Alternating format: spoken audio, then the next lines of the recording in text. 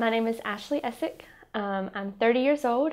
I was diagnosed with colon cancer um, when I was 29, and it had metastasized to my liver. Um, oh,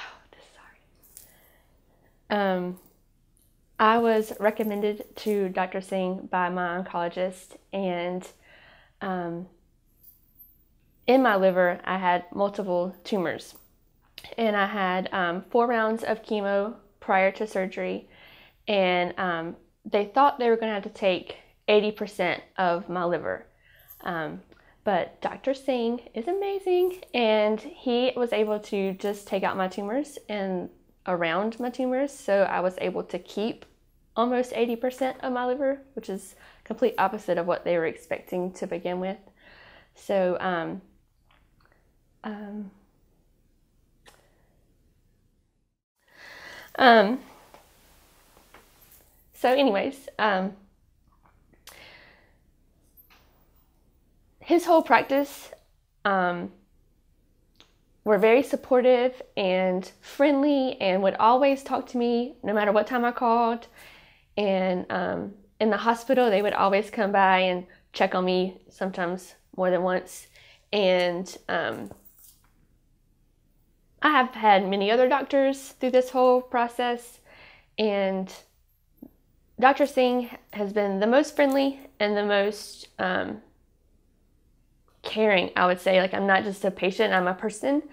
And so, um, I don't know, I would appreciate that more than more than anything, but he saved my life. So I can't thank him in this whole practice enough for me to be here for my daughter going forward.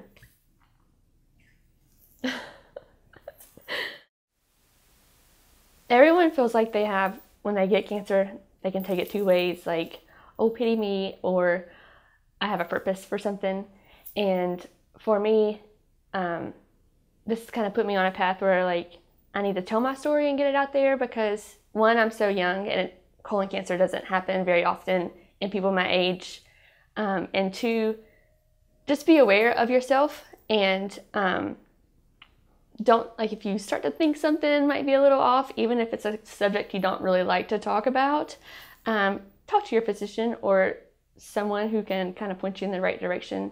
Um, Dr. Singh has been able to do that for me too, just to um, to let me express my feelings and what I'm thinking instead of holding it in or, you know, thinking I can do it for myself. So um, just be an advocate for yourself.